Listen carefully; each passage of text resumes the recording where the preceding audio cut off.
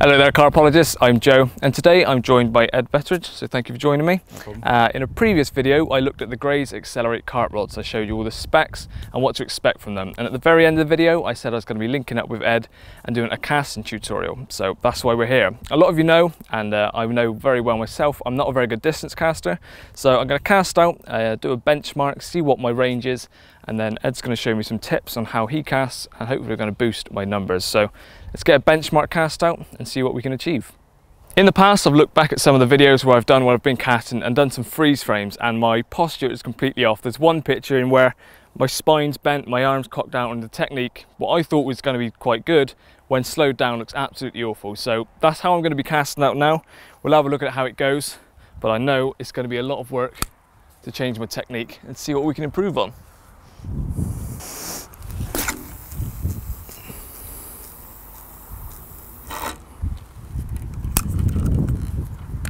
That's clipped up. I'm gonna wind in, wrap it out and see what the distance was.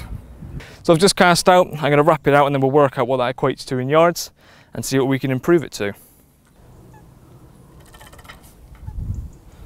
Just, that's 31 and a half wraps. That's my furthest already. well, there's testament to the rods. That is unscripted. That's my furthest cast yet. So I'm going to hand over to Ed, who's going to talk you through the setup we're using, and uh, we'll improve that from 31 and a half wraps. So those wraps converted into yards is about 126 yards, which already is my furthest ever cast. So which is a testament to the equipment that we're using. So I'm going to hand over to Ed, like I said, talk you through the setup, and then we'll start talking techniques on how to improve that and get those numbers up. When you're distance casting, the kit you're using is vitally important. I prefer 13 foot rods because that extra foot uh, of, of length in the tip creates a much faster tip speed. Therefore, you should be able to propel the lead a lot further. The actual rod is a new Accelerate from Greys. Now it's quite a light blank because of the nanotech that's involved in it and it's got titanium rings. So again, the lighter the rod, the quicker you can wield it through the air and the faster it will propel the, rod, the, uh, the lead. Sorry. The reel is a Penn Affinity 8000. It's basically a big bucket spool reel with a nice smooth line lay. The line I'm using the shock leader is a 50 pound whiplash and the actual line itself is a 20 pound whiplash Pro 8. Again, it's a very, very fine diameter line, all designed to just peel off the reel and not slow it down at all with the friction of it uh, passing through the eyes and coming off the reel. So uh, now I've talked you through the kit, let's give it a whack.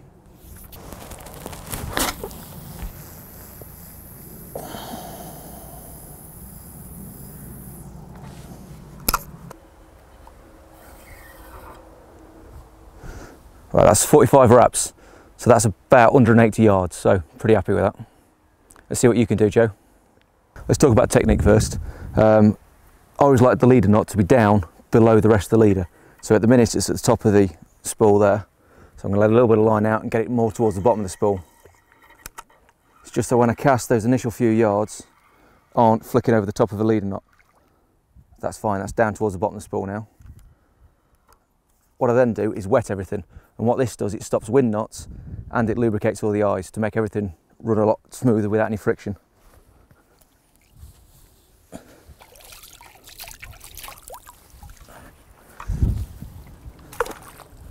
Then the next step, I like the drop to be somewhere around the spigot, probably just short of the spigot and the second eye.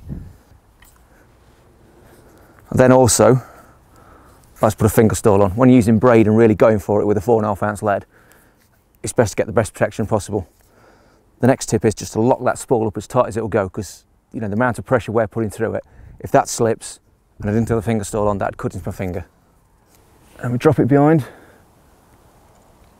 So we just want it just above the deck so we can generate as much speed as possible. Straighten the arms. I like to lean back slightly and then take a stride with my left foot. And as I'm striding, put all the weight into it and really give it a whack. So let's demonstrate that then. Keep the rod up at about 45 degrees because that's where the line's coming from. Smashed into the clip at 180. Right, so as you know, my first cast was just shy of 32 wraps, it's about 125 yards. Our aim is to try and get me to 150. I feel like that's quite an achievable target. So by following all the steps that Ed just gave us, I'm going to do exactly the same and see if we can at least get close, have a few practice casts, see if we can hit that 150.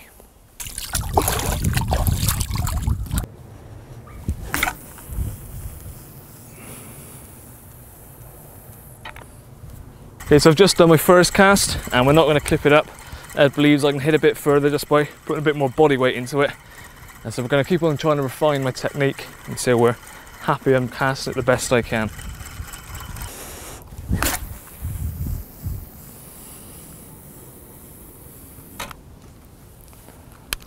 Okay, so now onto the third cast. Ed still believes I can put a bit more of my body into it. That was a bit of an improvement on the first one, but we'll try again.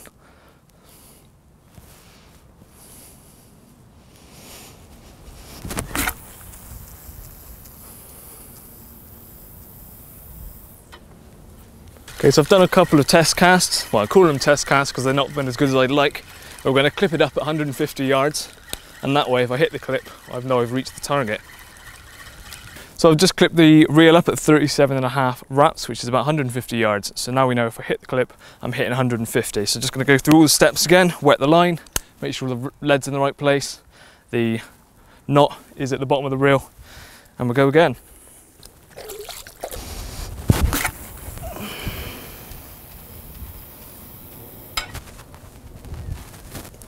Well, I hit the clip. right, so that hit the clip on the first cast, so we'll take that off and uh, go again and see what we're see what distance I can get. So I've had a few casts now, and I'm just going to go for probably one final one and see what we can clip it out as.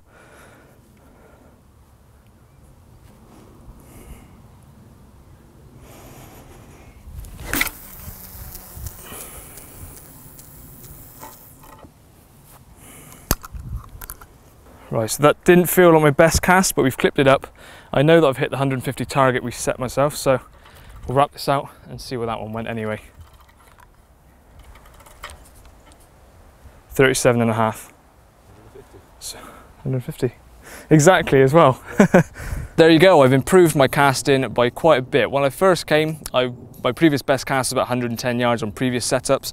Straight away with this setup with a four ounce lead and this, these rods and reels, I hit 125 as my benchmark uh, cast. And then with a few tips and tricks from Ed's tutorial, I was already hitting 150. I hit the clip quite hard at 150 yards. So with a bit of practice, I'm sure I could even increase it from that. So thank you very much. Uh, but obviously this is just a lead setup. So yeah.